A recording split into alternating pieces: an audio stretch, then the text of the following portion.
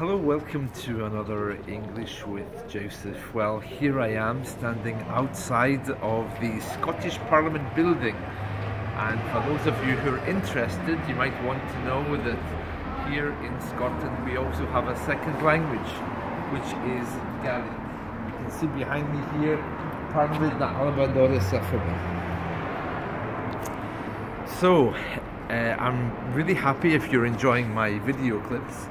I'll try and take another video clip inside, although I can't promise they will allow me to do that. But anyway, I wanted to introduce you to the Scottish Parliament here in Edinburgh on the day of St. Andrew, St. Andrew's Day. So, without further ado, I wish you a wonderful day.